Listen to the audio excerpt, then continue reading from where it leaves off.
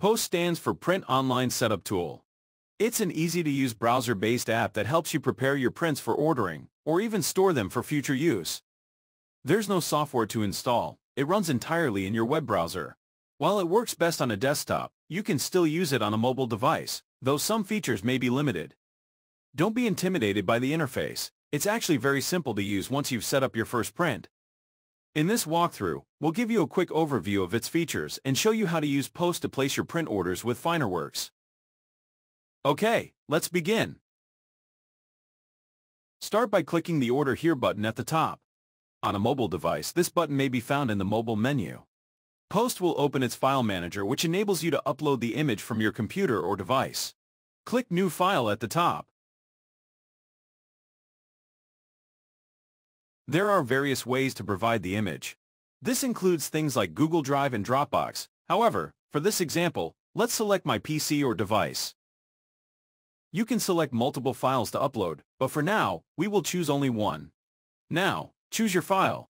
Once your file has finished uploading, the screen should refresh itself, and you will see the newly added file.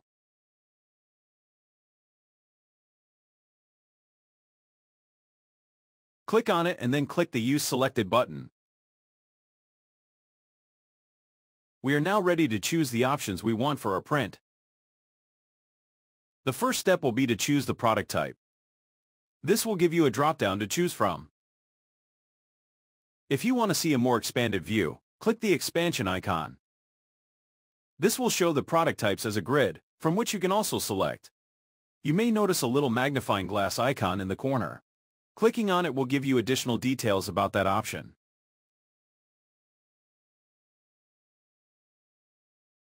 Let's order a frame print on a nice, fine art paper. In that case, let's choose the Fine Art Paper Prints option. Now, let's choose a paper type. The watercolor bright white is popular, so let's choose that. The next choice will be the style.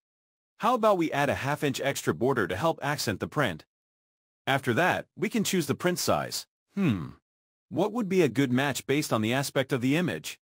A 12 by 8 inch print should do. Actually, since we can customize the size on this type of product, why don't we change it to 11 by 8 instead?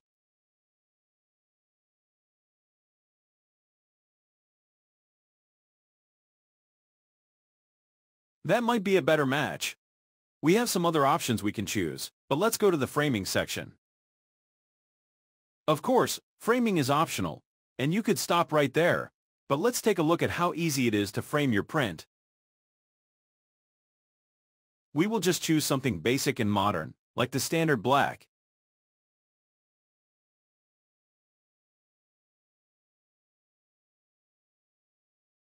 I think matting will complement it, so let's choose a nice green mat.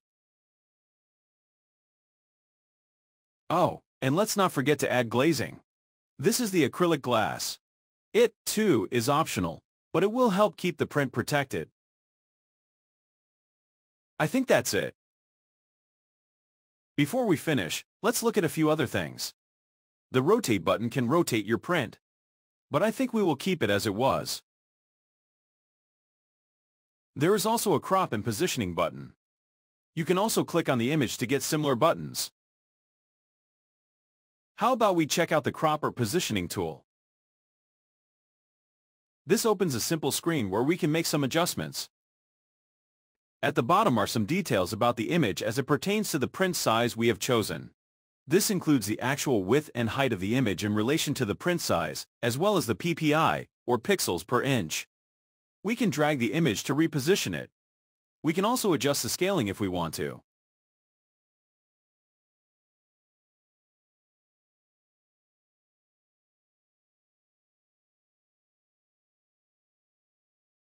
Once we are satisfied, we can save the changes. Great! Now I think we are ready to add it to the cart and check out. Before we end, it should be mentioned, different product types may have different sorts of options, but you should see a similar pattern with the workflow. But if something does not make sense or appears off, let our friendly customer service staff know, and we will help you work through the issue. Thanks for watching.